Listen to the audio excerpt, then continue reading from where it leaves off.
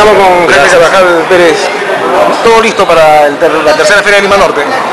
Muy contentos, muy muy contentos porque el resultado de las dos primeras fueron espectaculares.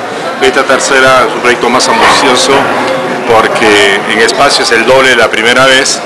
Hay más número de escritores, más están, más expositores y la visita de dos importantes escritores, uno de Colombia, Premio Nacional de Colombia y uno de España. Entonces va a ser 17 días de fiesta para todos los habitantes de, la zona norte de Lima.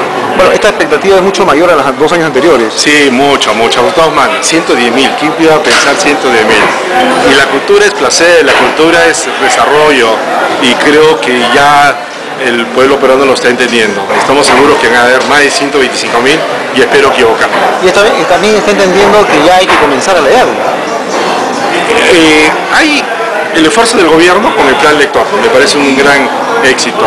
Y además las familias han entendido que sus hijos tienen que salir adelante, ¿no? Ahora veía que el, el subcampeón nacional, no, mundial de matemáticas había sido aceptado en las tres mejores universidades del mundo. O sea, yo estaba emocionado que así como ese chico hubieran mil más como lo hace India, como lo hace China, hay que apostar en la educación, en el capital humano, que es la única forma de salir adelante de este país.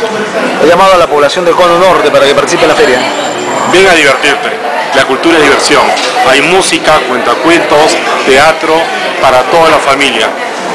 No te lo garantizo. A partir del día 16. 16 al 2 de mayo. Gracias.